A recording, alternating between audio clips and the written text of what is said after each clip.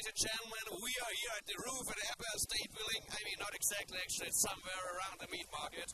And I have something for you here tonight you will never see again in your whole entire creepy life.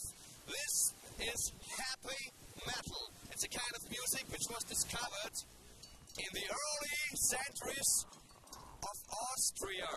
Austria, maybe some people don't know exactly where it is. I can't remember either, but Austria is somewhere in Europe. This music was discovered just by me a few weeks ago when I crashed my plane in this valley. And like most people know,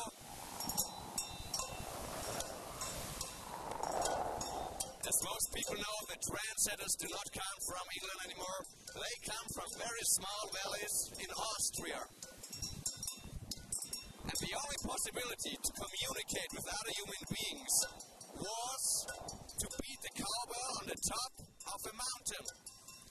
once upon a time, there was a guy called King Francis the First, and he climbed up on the top of the mountain with a Marshall amp.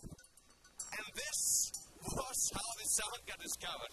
You know, we have these cowbells connected to, to get, uh, together connected with the Marshall amp, and I... Sh- sh- oh,